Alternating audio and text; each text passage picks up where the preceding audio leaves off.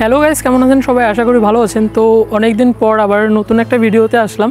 আর এটা হচ্ছে আমার পূজা প্রস্তুতি দু হাজার দ্বিতীয় নম্বর ব্লগ আর এখন আমি ঠিক রয়েছি গঙ্গারামপুর শহরের একটা উল্লেখযোগ্য ক্লাব চিত্তরঞ্জন স্পোর্টিং ক্লাব হাতে গোনা কয়েকটা ক্লাব রয়েছে তার মধ্যে কিন্তু মানে ভালো একটা ক্লাব আর দুর্গাপূজার কিন্তু প্রত্যেক বছরই কিছু না কিছু নতুন কিছু থিম এখানে উপহার দিয়ে থাকেন। আর এইবারের থিম থাকছে প্রাচীন দিনে কীভাবে মন্দিরগুলো তৈরি করা হতো? অর্থাৎ আজ থেকে দেড়শো দুশো বছর কিংবা তারও প্রাচীনকালে কীভাবে মন্দির তৈরি করা হতো কিংবা ঘরবাড়ি তৈরি করা হতো? তো এই থিমটাই এবার থাকছে। আর এইবারের থিমটা কিন্তু অসাধারণ লেগেছে, কারণ অ্যাজ এ ইতিহাসের স্টুডেন্ট হিসেবে আমার খুবই ভালো লেগেছে এবারের থিম কারণ এটা হচ্ছে ইতিহাসের সঙ্গে একটা রিলেটিভস রয়েছে।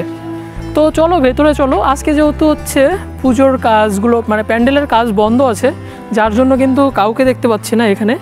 আর এখানে কিন্তু কেউ নেই বলা চলে, আর আমাকে একা একাই করতে হবে ভিডিও আর ক্লাবের কর্তৃপক্ষের কাছে আমি শুনেছি যে এবারের বাজেটটা হচ্ছে মোটামুটি তিরিশ লাখ সামথিং এরকম হবে। তো পুজোর প্যান্ডেলটা কিন্তু খুবই সুন্দর লাগবে, যখন সম্পূর্ণ কাজ হয়ে যাবে। কারণ এই যে দেখতে পাচ্ছ, এই যে পুজোর প্যান্ডেলটা তৈরি হচ্ছে, এটা কিন্তু বাঁশ আর হচ্ছে প্লাইয়ের কাজগুলো কিন্তু মোটামুটি হবে আর কি এই প্যান্ডেলের উপর। আর হালকা কিছু রং করাই হতে পারে রং রং দিয়ে ফুটিয়ে তুলতে পারে সেই প্রাচীনকালের ইট, তারপর বালি, সুরকি দিয়ে যেভাবে ঘরবাড়ি তৈরি করা হতো, সেম প্রসেস কিন্তু এখানেও কিন্তু শুধু থাকছে বাঁশ আর প্লাই। তো এই থিমটা কিন্তু আমার কাছে খুবই ভালো লেগেছে।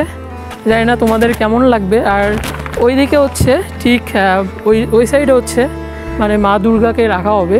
আর ঠিক এইখানে হচ্ছে প্রতিমা তৈরি করা হচ্ছে। তো খুবই সুন্দর লাগবে যখন সম্পূর্ণ কাজ হয়ে যাবে। আমি আবার আসব যখন কাজগুলো মোটামুটি হয়ে শেষের দিকে তখন আবার এসে আমি তখনকার হচ্ছে মানে আপডেটটা দিব আর কি। পুজোর আগে আগে কেমন হচ্ছে এবারের থিম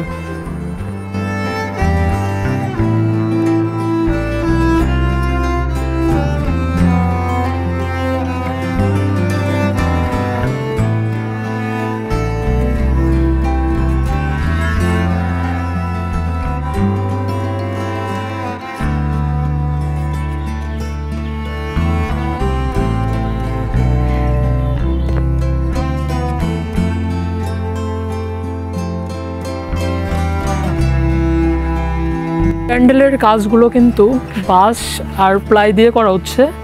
আর এর উপর হালকা রঙের ব্যবহার করতে পারে, কিংবা এটাই অরিজিনাল রং কিনা। যা দেখছি, এখানে কিন্তু রং ব্যবহার কর মানে রংটা ফুটে তুলছে, অর্থাৎ প্রাচীনকালের ইটের মতো সামথিং কিছু তৈরি করছে। আর আগে তোমরা জানো যে আগেকার দিনে ঘরবাড়িগুলো ইট, সুরকি, বালি এইসব দিয়ে করা হতো মাটি। তো এখন আমি ভেতরে যাচ্ছি, আর ভেতরে কিন্তু কাজ হচ্ছে না হওয়ারই বলা চলে, কারণ আজকে পুজোর জন্য বন্ধ, আজকে যেহেতু বিশ্বকর্মা পূজা, আর যার জন্য কিন্তু বন্ধ আছে কাজগুলো।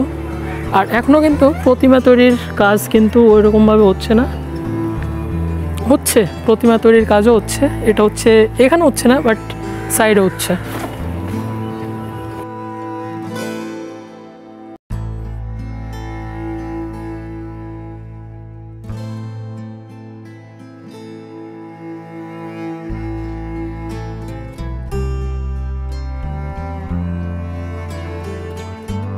প্রতিমা করার কাজও কিন্তু অনেকটা হয়ে গেছে। এখন শুধু মোটামুটি ভালোই দিন আছে, যার জন্য কিন্তু কাজগুলো কিন্তু ধীরে ধীরে হচ্ছে।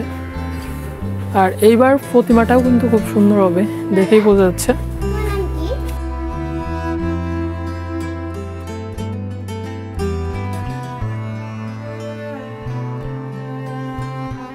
তো গাইস কেমন লাগল ভিডিওটি অবশ্যই কমেন্ট করে জানাও। আর আজকে এই পর্যন্তই থাক, দেখা হচ্ছে পরবর্তী কোনো নতুন ভিডিও তো নতুনভাবে। ততক্ষণে তোমরা সবাই ভালো থাকো, সুস্থ থাকো। আর দুর্গাপূজার কেমন কাটবে সবার কমেন্ট করে জানাবা। আশা করি ভালো কাটবে, কারণ ভালো না কাটার কোনো কারণ নেই। তো, টাটা।